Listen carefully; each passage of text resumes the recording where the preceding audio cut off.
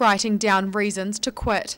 Smokers around the country are being asked to halt the habit and try a smoke free lifestyle.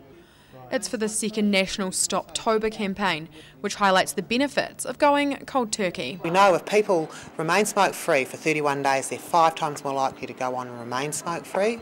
So, I mean, it's a great opportunity for people to just give it a go. Around 5,000 people took part in the first Stoptober campaign last year. Numbers have swelled this time around, with more than 8,000 smokers registered.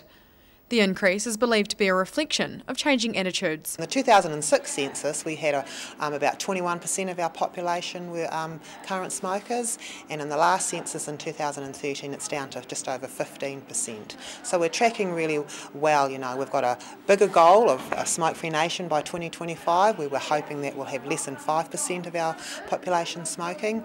Locals who sign up to the campaign will be monitored by Southern District Health Board staff so they can stay on track. Some pharmacies are also giving out samples of a nicotine replacement to encourage customers to be smoke free. It's all about making the quitting process easier. For some people, this attempt might be, the, might be their first attempt, it might not be their last attempt, because on average it takes about 20 serious attempts for people to stop smoking. Local healthcare staff are hoping that more smokers will sign up to the challenge over the next few weeks.